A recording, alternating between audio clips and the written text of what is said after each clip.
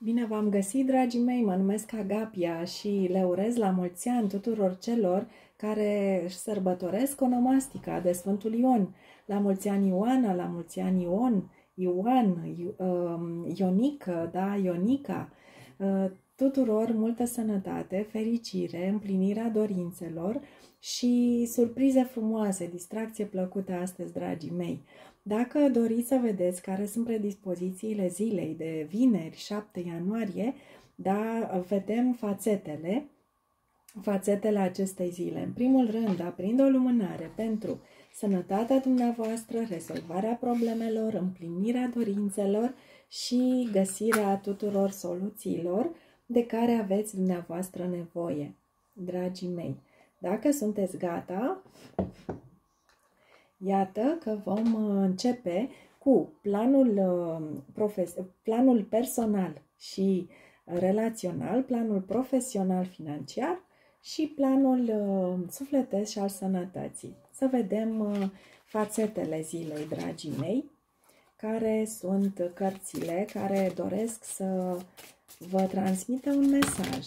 Iată, pe planul relațional avem destul de multe. Cineva este îndrăgostit, poate vă întâlniți cu persoana dragă. Vedem aici uh, carta cu numărul 24, alată două lebede, uh, care formează, da, cu gâturile lor, formează o inimă. Dar cred că um, sunteți îndrăgostiți, dragii mei, și vă bucurați de prezența uh, unei persoane, poate întâlniți o persoană nouă.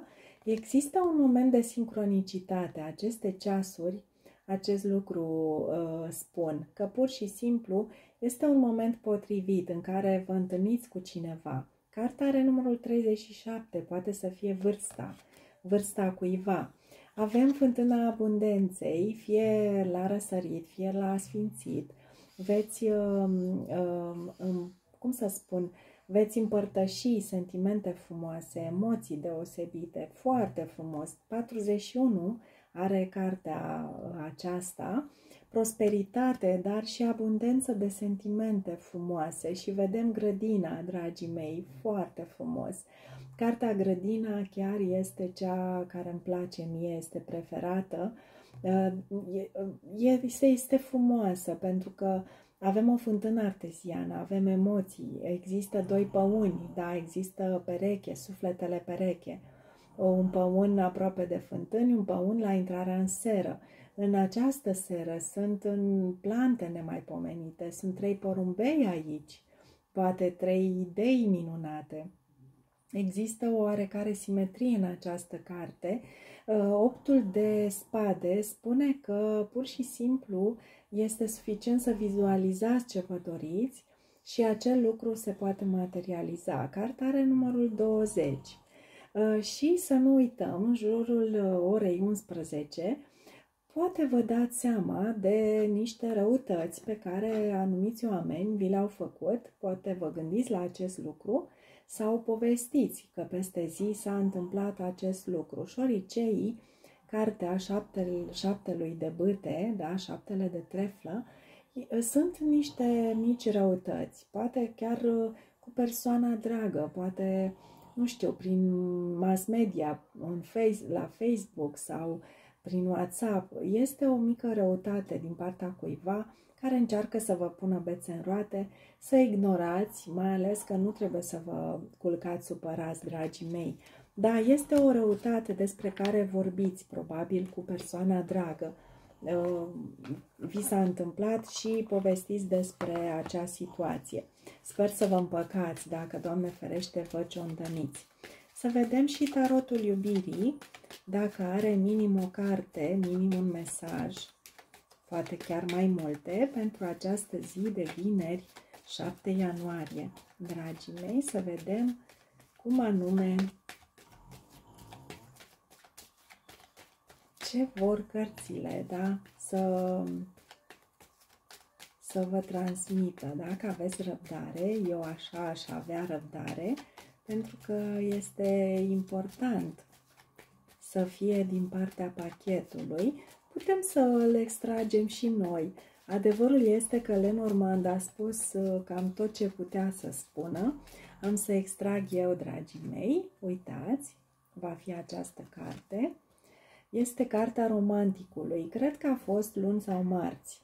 Revine această stare de romantism din partea persoanei dragi către dumneavoastră sau dumneavoastră veți manifesta acest romantism uh, pentru ziua de vineri. Mi se pare minunat, da? Haideți să vedem planul uh, profesional, să vedem la job cum va fi, cum va fi în afaceri, care este cartea pe care Tarot Energii dorește să o evidențieze pentru dumneavoastră. Iată, vineri, 7 ianuarie, se deschide ușa către valori. Cred că veți câștiga o sumă de bani, va fi o, o reușită. Cred că veți uh, afla despre un job mai bun sau veți începe să căutați un job mai bun. Carta are numărul 31. Dacă începeți o anumită afacere, până pe 31 veți vedea și rezultatele. Da? Este ușa către valori, ușa către, către prosperitatea financiară.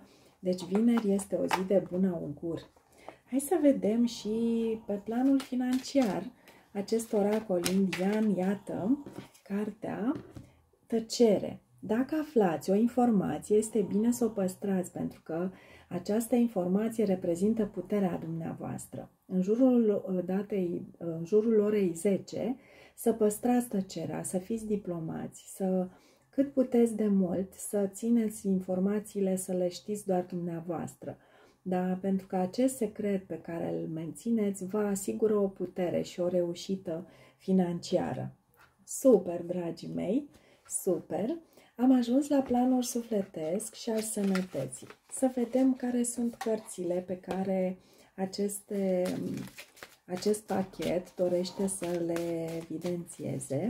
Am făcut aici un turnuleț de cutii, dragii mei, care intră și în cadru. Sunt puțin dezorganizată, să mă iertați. Iată, aș spune că aceste două cărți au vrut oarecum să ne, să ne lase un semn, da? să ne dea un semn. Și am să vă spun așa, că avem, este doar un gând, iar gândul poate fi schimbat să aveți grijă la gândurile dumneavoastră. De fapt, tot ceea ce ni se întâmplă a fost la început un gând, da? Sau tot ceea ce, se, ce există în jurul nostru a fost, la, a fost la început un gând. Haideți să vă citesc mesajul. Nu, sunt limit, nu sunteți limitați de vechi raționamente. Vă alegeți gândurile cu grijă, aveți mereu percepții și perspective noi de a vedea lumea. Sunteți pregătiți să vă schimbați și să, vă, și să evoluați. Deci, uh, gândul acesta va fi îndreptat înspre evoluția, înspre, înspre dezvoltarea dumneavoastră, înspre însănătoșire. Până la urmă veți decide că vreți să vă faceți bine. Apoi avem că vă mențineți uh, în echilibru partea masculină cu cea feminină. Fie că vorbim despre interiorul nostru, pentru că avem partea masculină, cea care Uh, decide, cea care controlează și avem partea feminină, cea care își exprimă emoțiile, care recepționează informații, știe să asculte uh, ceea ce au ceilalți, uh, sunt buni sfătuitori, da? Cei în energie feminină. Ce spune efectiv mesajul? Partea dumneavoastră masculină și feminină este în deplină armonie și echilibru și sunteți împăcați că totul este bine. De asemenea, ați putea să aveți o astfel de uniune masculin cu feminin cu persoana dragă, deci în relația dumneavoastră, da? și să, să aduceți o armonie specială în relația de cuplu, în cazul în care uh, aveți, da? sunteți într-o relație de cuplu. Dragii mei, hai să vedem planul sănătății și sufletesc de asemenea, de ce anume mai beneficiază, care este cartea care, iată, uh, voi extrage doar cartea aceasta care s-a întors, dar restul cărților sunt cu fața în jos. O unitate, da? Spune așa, înțelege că iubirea împărtășită este amplificată și are un efect de avalanșă în univers. Iubirea împărtășită. Mm, poate că ziua de vineri 7 ianuarie se lasă și cu petrecere, se lasă și cu declarații și cunoașterea persoanelor și cu timpul minunat petrecut alături de ființa dragă. Iar în momentul în care vă împărtășiți această iubire, ea este amplificată și are un efect de avalanșă în univers. Uh, probabil că vă va răspunde cealaltă persoană tot cu iubire și această iubire a voastră va duce către o relație, da? Și această relație până la urmă va fi pe termen lung ceva și vă puteți baza unul pe celălalt. Deci uh, să, să fiți atenți la ceea ce vă doriți că se îndeplinește, dragii mei. Sănătatea este bună, sănătatea este bună și atunci când gândim pozitiv și când ocolim gândurile negative, și sănătatea vine în ajutorul nostru. Dragii mei, eu vă îmbrățișez uh, să nu uitați să vă abonați dacă v-a plăcut pentru a vedea și alte ediții ale fațetei uh, uh, zilei. Da, și vă doresc un weekend excelent pentru că de, de vineri după amiază spre seară începe weekendul. Să fiți ocrotiți și ocrotitori, să vă meargă bine, vă îmbrățișez, numai bine!